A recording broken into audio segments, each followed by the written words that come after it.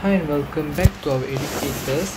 So untuk hari ini saya nak bincangkan soalan percubaan SPM dari Terengganu untuk tahun 2024. Okay, so untuk soalan Terengganu saya tak dapat bincangkan like 5 questions in one video sebab soalan soft copy yang diberikan kepada saya by the student ke teacher kan I'm not sure yang dia uh, compile semua soalan tu dia macam tak jelas So I take initiative uh, tengok modul Cikgu Adura ini Camp Quest 2025. Thanks a lot for Cikgu Adura. If she see my video, Cikgu terima kasih banyak-banyak untuk compile modul macam ni sebab memudahkan saya nak mengajar.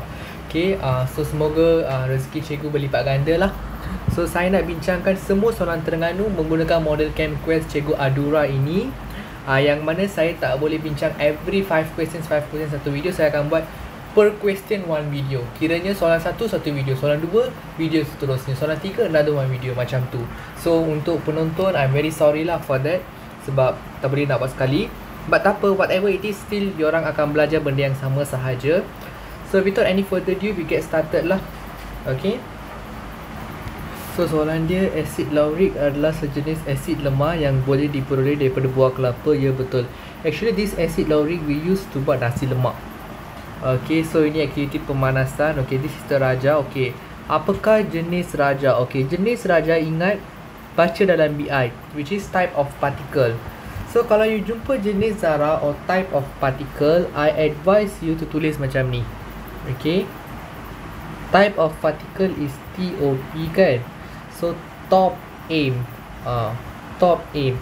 Maksudnya you punya answer either aim is atom I is ion, M is molecule.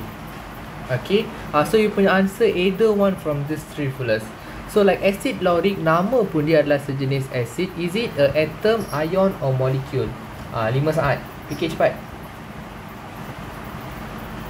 Ya, yeah, betul. Acid adalah sejenis mo molecule. Kenapa? Okay, come you see the thing here.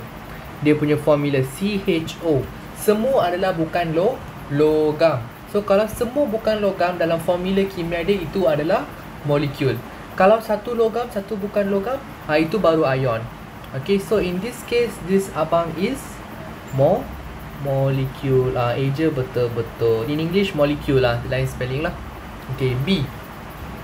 Asid laurik perlu dikacau sepanjang pemanasan sehingga ia melebur. Okay.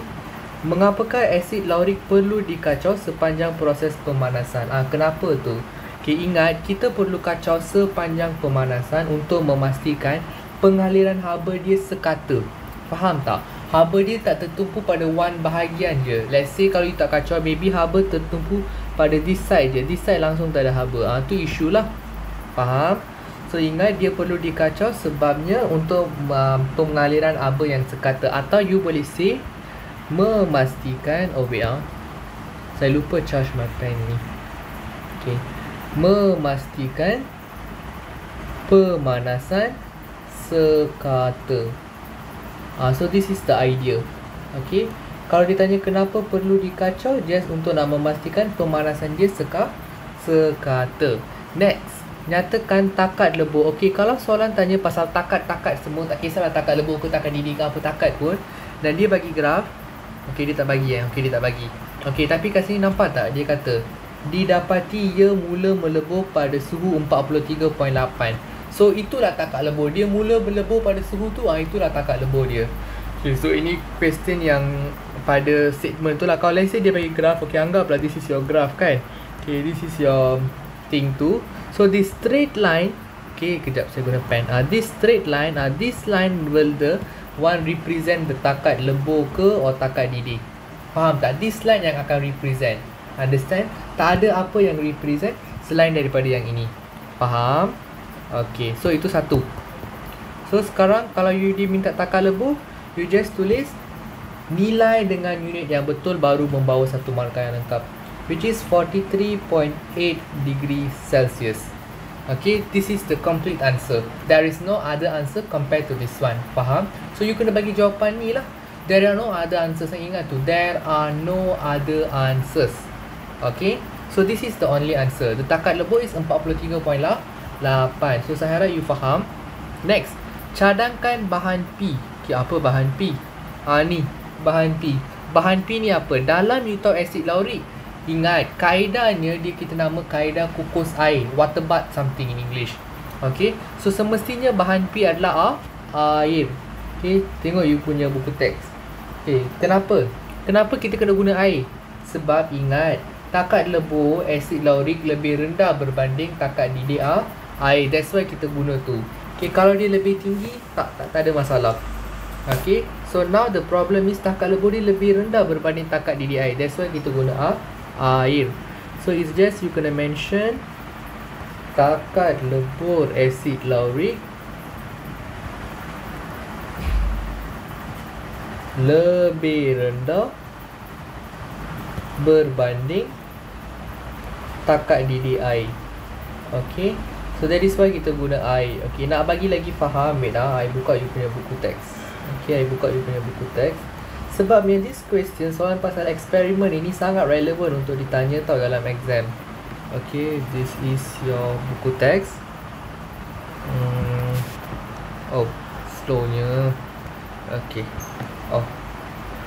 Hmm, dia tengah loading. Sabar. Okay, but meanwhile tu you can salin dulu all the answers. Oh, saya dah chapter 6 eh. Okay. Ah, ya. Yeah. Okay, nampak ni? Okay. So, ini pemanasan dan ini penyejukan. Naftalina boleh diganti dengan asid laurik. Macam mana tu boleh diganti tu mana saya tahu ah, ni. Asid laurik adalah sejenis asid lemak. Asid ini sesuai untuk digantikan sebagai pengganti naftalina. So kalau dia bagi naftalina pun just the same only. You either boleh guna naftalina or you either boleh guna asid lau laurik. So nak tahu pasal takat-takat semua, you tengok the straight line. Ha, line straight inilah yang represent dia takat lebur ke, takat beku ke, takat apa ke. Alright, uh, the straight line only. Okay, now. Cuba tengok kat sini. Oh, one okay definition ni please take note tau definition ni boleh ditanya ingat saya pernah bagi tips menjawab kalau you nak jawab pasal takat lebur ke atau takat beku benda pertama kena mention the word suhu malar benda kedua you kena bagi tahu dari fasa apa ke fasa apa dan juga benda ketiga wajib ada perkataan pada tekanan tertentu semua ini ada baru you dapat you punya markup faham tak any one of this missing you tak dapat markup penuh ha, kena berhati-hati Faham? So jangan main-main when jawab soalan kimia. Okay, so please take note benda ini, soalan definition ini dan juga okay kat sini. Kenapa kita guna air? Okay, the reason is macam ni. Kita tak boleh guna selain daripada air. Sebabnya air ni dia punya takat didih kan, okay? Dia dah lagi tinggi berbanding takat lebur asid laurik. Okay, so that's why kita panaskan guna air. Faham when pemanasan berlaku lah.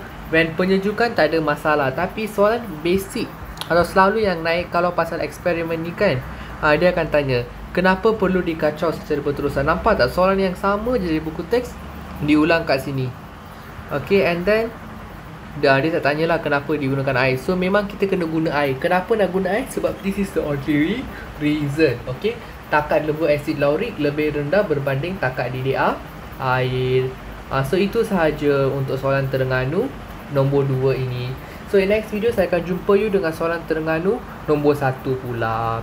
Okay so anyone yang nak solution bertulis ke atau nak join kelas tuition kita untuk menjawab soalan kimia, uh, you boleh uh, DM saya. Saya tinggalkan my nombor in the community part or nak reach saya melalui my Instagram pun boleh. So apa-apa saya akan jumpa you kat sana. Kalau join kelas tuition kita, dia punya kelebihan lagi banyak lah. Okay, untuk sekarang saya buat dalam YouTube ni percuma saja which saya tak cover semua. Kalau join kelas tuition saya akan bagi tips lagi teknik menjawab lagi uh, minomik lagi supporting tu ni a lot, lot of things lah I will give. So kalau nak join kelas tuition kimia with me memang boleh. Okay so dipersilakan untuk join. Kalau nak join boleh contact saya. Okay itu sahaja. Bye